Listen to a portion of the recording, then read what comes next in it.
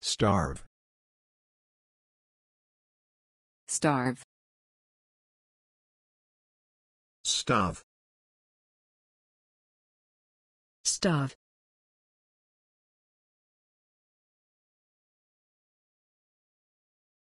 If we really did have to grow our own, most of us would starve.